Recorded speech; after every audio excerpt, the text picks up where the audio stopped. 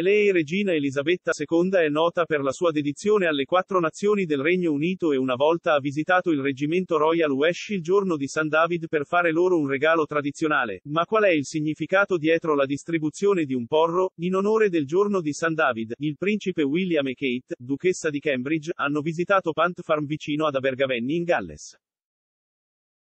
L'allevamento di capre ha fornito latte ai produttori di formaggio locali negli ultimi 20 anni.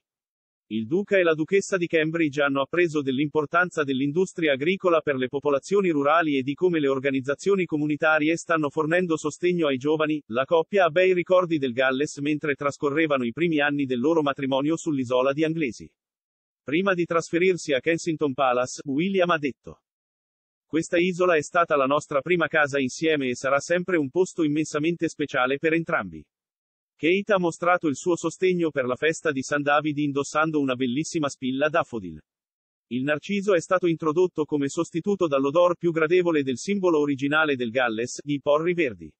Secondo la leggenda, San David, il santo patrono del Galles, consigliò ai soldati gallesi di identificarsi indossando i porri in una battaglia combattuta contro i sassoni in un campo di porri. E così oggi, ogni anno nel giorno di San David, il porro viene indossato nei distintivi dei berretti di ogni soldato in ogni reggimento gallese. La verdura è citata anche nell'opera teatrale di Shakespeare Enrico V, scritta nel XVI secolo durante il regno della regina Elisabetta I. Si dice che il re Enrico VIII abbia regalato a sua figlia un porro nella giornata nazionale del Galles. Questa tradizione reale sembra essere arrivata alla monarchia di oggi.